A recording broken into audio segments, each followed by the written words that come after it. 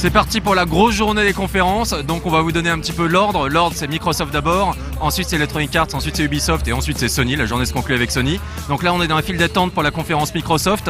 Donc il y a déjà pas mal de monde, ça a l'air mieux organisé et on s'est retrouvé avec euh, avec euh, du bracelet, alors du bracelet, alors du petit device. J'ai l'impression qu'il y a un délire électronique euh, dedans. Donc je sais pas ce que c'est. Ça se trouve c'est pour voir si on est very excited et dans le cas contraire ben, ils peuvent s'inscrire dans une, routine pavlovienne, c'est-à-dire une, petite décharge, tu vois, pour peu qu'on applaudisse pas au bon moment. On sait pas, on va voir, on va voir. Et donc du coup, il y a déjà pas mal de, petites attractions un peu partout. Là, il y a un énorme plateau de, tournage où tu as pas mal de personnalités du milieu. On entend les gens crier un petit peu. Et il y a aussi un camion Sunset Overdrive. Donc évidemment, pour la conférence Microsoft, on attend beaucoup de choses puisque du coup, la Xbox One comme la PS4, elle manque, ça manque un petit peu de titres là carrément aujourd'hui. Donc on attend de grosses annonces, on attend des confirmations, mais aussi bah, surtout des nouveautés, des nouveautés et beaucoup beaucoup plus de gameplay qu'auparavant. donc ça va vraiment, être on espère une très très belle conférence. Et donc là, on va rentrer dans, ça commence dans à peu près une heure. Donc on se pose et puis on se revoit juste après et on en reparlera, on fera un petit debrief de la conférence Microsoft.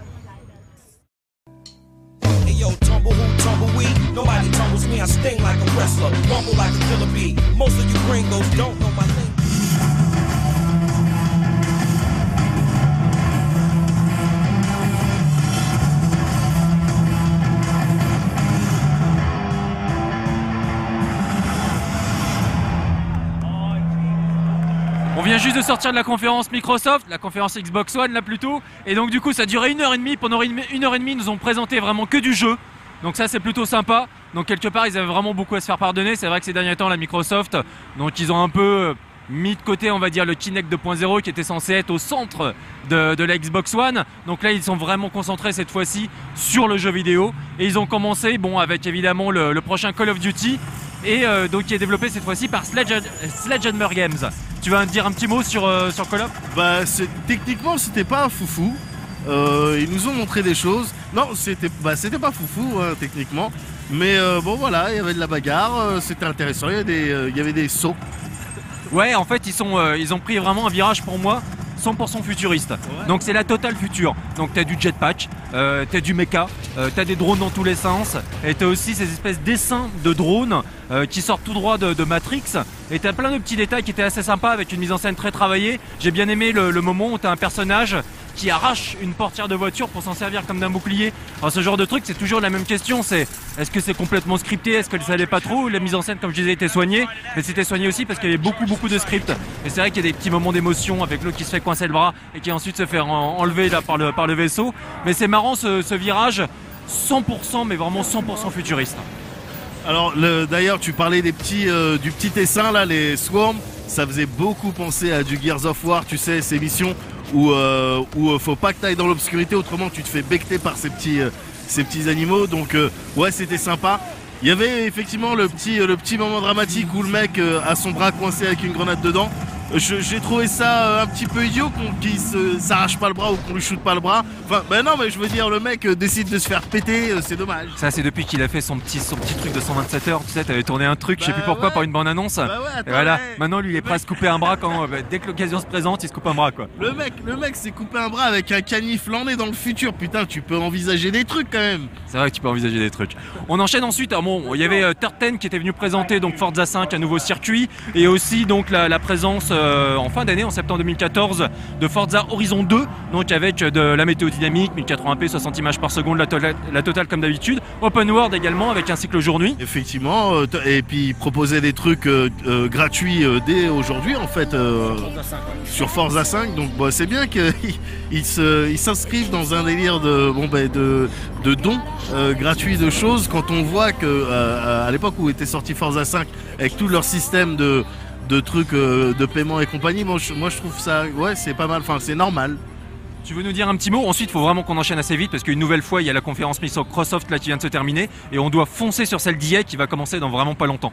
Donc là, un petit mot sur Evolve et ensuite t'enchaînes avec Assassin. Alors Evolve, c'était très très sympa ce qu'on nous a montré. Euh, J'ai vu par rapport à la, à la session que j'avais pu euh, euh, découvrir, j'avais joué tout ça, tout ça. Le, au niveau du design de, chaque classe, ça a changé un petit peu. Donc j'imagine qu'on aura plusieurs skins. Et surtout au niveau du monstre, euh, quand j'avais joué, on nous avait présenté un monstre dont je me souviens plus du tout du nom. Et là, en l'occurrence, c'était un monstre, c'était un style de Cthulhu. C'était, euh, c'était agréable. Ouais, c'était avec ses, avec ses tentacules, avec ses quatre yeux.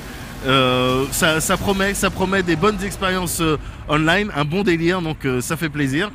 Et ensuite, ben, euh, Assassin's Creed Unity, le truc qu'on euh, qu'on nous a présenté, le truc qui a été mis en avant, ben, c'est le, le coop à 4. Donc euh, Paris, euh, la Révolution euh, française, euh, t'arrives avec tes potes, tu tues des gens, euh, c'est sale, hein, c'est sale, ça se terminait sur une tête coupée, le mec n'était finalement pas mort, donc ça alimente un petit peu cette urban legend qui, euh, veut que quand on te coupe la tête, bah, t'as encore quelques secondes de lucidité. Et c'est triste, mais euh, ça, peut être prometteur du coup en termes de, jeu. Maintenant, bah, comme tu le sais, comme les gens le savent depuis le dernier classé 18+, il y a méfiance. À chaque fois qu'il y a Ubi qui te présente un truc. Vrai, moi j'ai trouvé en fait la l'IA peu réactive. Donc tu voyais les assassins rentrer dans les bâtiments, donc tu tuais à l'extérieur, à l'intérieur, c'était seamless, etc. C'était très sympa visuellement, mais euh, les soldats ils bougeaient pas des masses. hein. Donc alors, je sais pas si c'était en niveau de difficulté très très très très faible, mais euh, j'espère qu'ils vont booster un petit peu ce côté-là parce que là c'était un peu mollasson. Ensuite on va enchaîner, bon très rapidement on a vu un trailer de Dragon Age Inquisition, donc ça on en parlera quand on verra quelque chose de vraiment concret. On a eu du Sunset Overdrive, on a le camion là juste derrière nous. Donc ça, j'ai trouvé ça plutôt sympa. C'est vraiment une espèce de mix entre Jet Set Radio, Tony Hawk, et c'est une sorte de third-person shooter complètement cartoon barré. Donc avec euh, visiblement une sorte d'open world, fête foraine euh, délirant. Et ça peut être vraiment très sympa. J'aime bien le dynamisme des séquences et le côté un petit peu what the fuck de, l'ensemble qui était vraiment rigolo. Je sais pas ce que t'en as pensé. Non, bah, c'était la manière dont ils nous ont amené ça, c'était, j'ai trouvé ça vraiment original. C'était, euh, marrant, c'était frais. C'est Insomniac donc qui, qui est dessus. Écoute, euh, là pour le coup j'ai envie d'y jouer. Il me semble qu'il y a aussi euh, va y avoir de la partie multiplayer, mais d'une manière générale, même sur l'écrasante majorité des jeux qu'on nous a présentés, il y avait quand même un accent sur le multiplayer. Euh, ça veut dire que ouais bon, c'est pas nouveau, mais ils savent que c'est là-dessus qu'on doit miser aussi. Et donc là pour le coup, celui-ci il était prévu pour le 28 octobre. Donc ensuite à voir pour la date française. On aura également un DLC de Dead Rising 3, c'est pas qu'on l'aura, c'est il est maintenant déjà disponible et téléchargeable. Donc là c'était vraiment Capcom qui s'est complètement lâché. Donc du cosplay sur tous leurs personnages. Ça m'a fait penser un petit peu à ce qu'Ubisoft avait fait avec, euh, avec Blood Dragon pour Far Cry 3. Donc vraiment un DLC euh, complètement barré. Et donc avec possibilité de jouer à 4 en coop, ça va vraiment être très cool. Avec tous les, euh, avec tous les, les costumes de costumes de street, hein. t'avais du Ryu, t'avais de la Chun-Li, t'avais euh, tout, puis même d'autres personnages de Capcom. Oui, c'était, c'était drôle, c'était drôle, c'était drôle.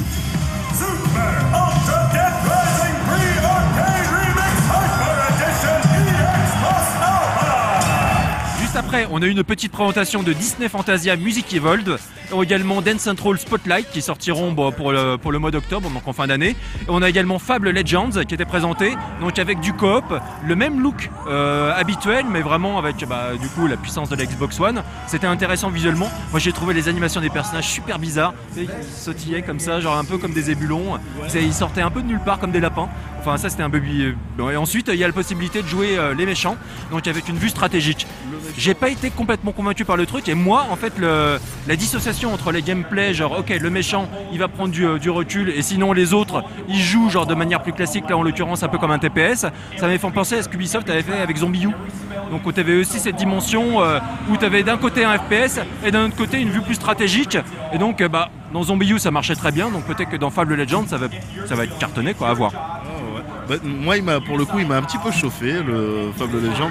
Ouais, bah ouais, ouais, j'ai trouvé ça pas mal. Et puis, euh, encore une fois, là, c'était amené de manière originale, de manière euh, drôle. J'ai trouvé ça vraiment pas dégueulasse. La manière dont se déplaçaient les personnages, bon, bah, c'est, c'est dans le délire euh, Fable, hein, tu sais, c'est, pas une série qui se prend euh, réellement au sérieux.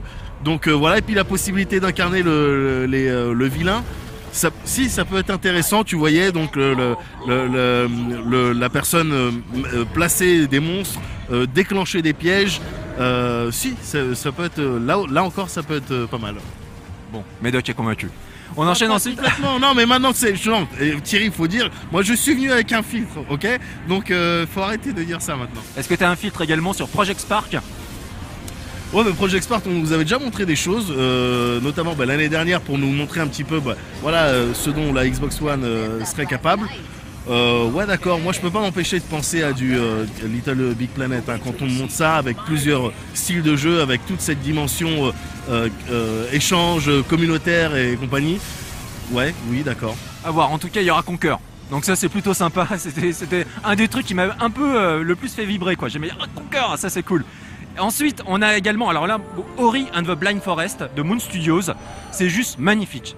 Donc c'est euh, c'est ce cette petite séquence de jeu, on voyait une espèce de personnage avec un masque qui semblait un petit peu sorti de de, de, de Chihiro. ouais, du- de Chihiro carrément, et donc qui accompagnait cette petite créature, et donc ça avait l'air d'être un jeu de plateforme aventure, mais vraiment très très joli, très belle DA. Je suis vraiment curieux. En plus, bah, pour le coup, il devrait sortir en fin d'année, donc celui-là j'ai hâte de le voir. C'est très certainement en démat.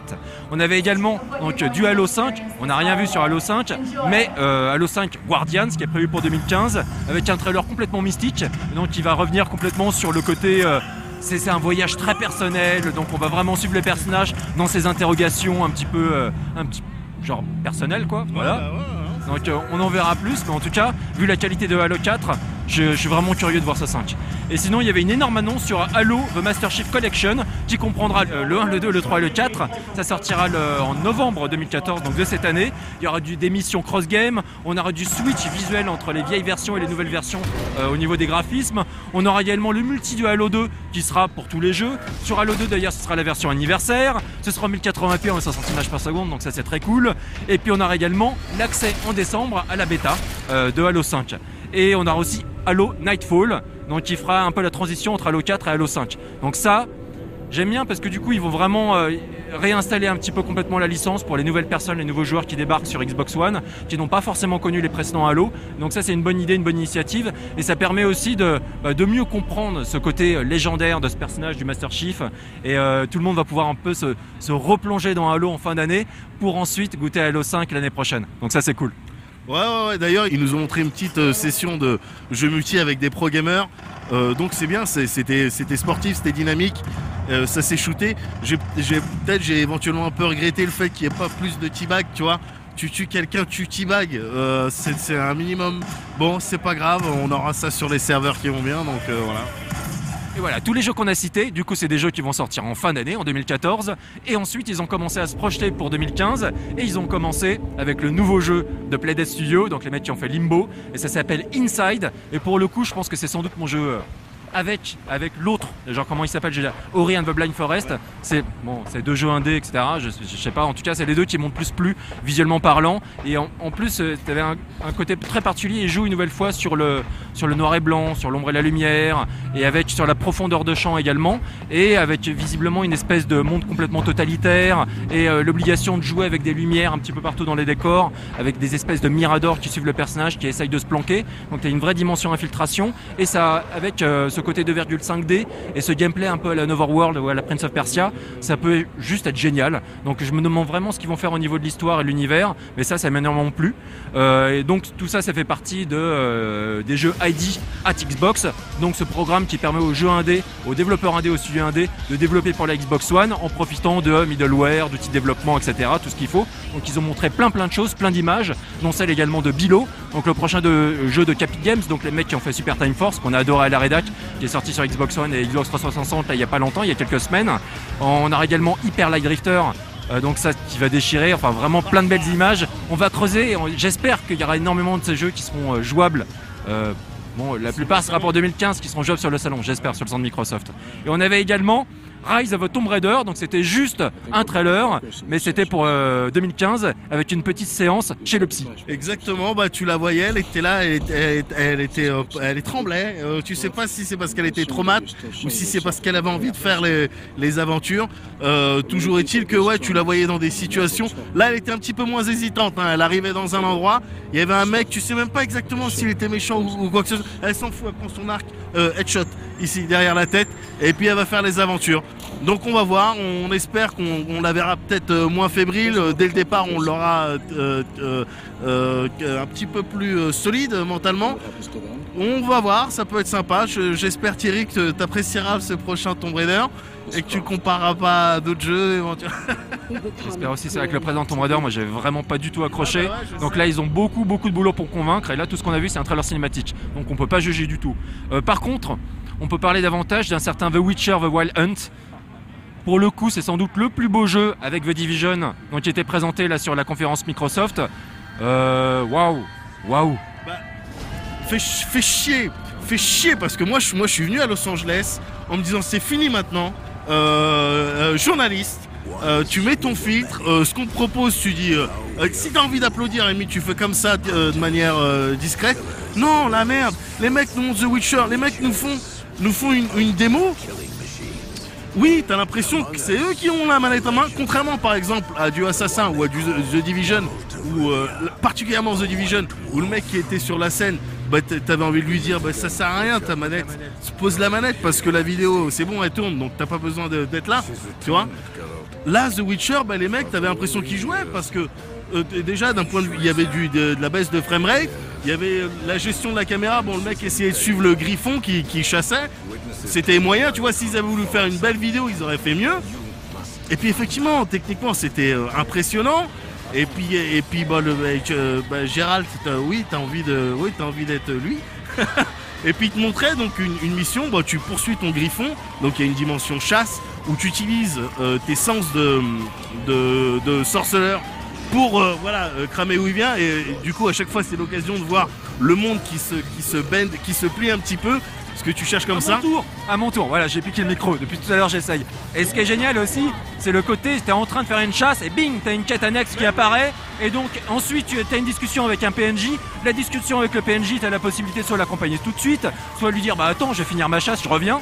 Donc, t'as une- un vrai dynamisme qui a l'air complètement hallucinant. Et ce côté, vraiment, où tu, avances dans cette nature sauvage et tu changes de décor sans arrêt. Le, personnage se déplace extrêmement bien. C'est juste magnifique. On va aller très vite, on va conclure, on va foncer chez EA. On avait également donc The Division qui était présenté avec un moteur graphique absolument magnifique. On rappelle que le jeu est développé chez Massive. Et on a aussi une euh, présentation d'un trailer sur le prochain Platinum Games qui sera une exclue Xbox One et qui s'appelle Scalebound et qui, euh, qui était plutôt marrant. Le trailer était plutôt marrant. Ensuite, bah, le jeu, qu'est-ce que ça va donner? On n'en sait strictement rien. Et on avait aussi l'annonce d'un nouveau Crackdown qui va débarquer avec une nouvelle campagne coop et donc avec des graphismes revus, etc. Donc euh, l'open world fait son grand retour sur Xbox One. Et puis voilà, on en a oublié un, je crois. On a oublié le reboot de Phantom Dust. Mais pour le coup, Phantom Dust, euh, ça m'a pas marqué. Moi non plus. Juste pour revenir sur euh, Scalebound, effecti- effectivement, c'était que de la cinématique, mais t'avais l'impression que tu pouvais voir se dégager deux trois mécaniques qui seront éventuellement plus tard dans le jeu. En l'occurrence, euh, voilà, quand tu quand tapes du monstre, quand tu arrives à, couper des trucs, bah tu peux éventuellement prendre, voilà, l'apparence, peut-être même des skills. Voilà, bon, il y aura peut-être une dimension comme ça, à voir, mais bon, c'est Platinum Games. En règle générale, quand c'est de l'action, euh, Platinum Games, ils font, ils font ça bien. Donc, euh, ouais, là, on est curieux. Voilà, bon, bonne conférence, ça commence très bien. On est plutôt content. Et ça, ça, ça marchait du tonnerre, c'était vraiment très rigolo. Donc, vous avez pu le voir, bah, c'était des lumières qui illuminaient un petit peu tout le, tout le Galen Center. Et euh, vraiment euh, très très sympa, quoi. C'est euh, assez impressionnant. Euh, le dispositif était rigolo puisque c'était timé réellement sur, euh, sur le montage de certaines présentations, de certains trailers. Très sympa. Bon, maintenant, on fonce chez EA. On va voir ce qu'ils vont annoncer, ce qu'ils vont présenter. Euh, on a hâte d'en d'en voir un peu plus sur le prochain Battlefield quand même, sur Hardline. Bah, évidemment. Évidemment, mais on va regarder ça. hein. C'est parti, on se retrouve tout de suite.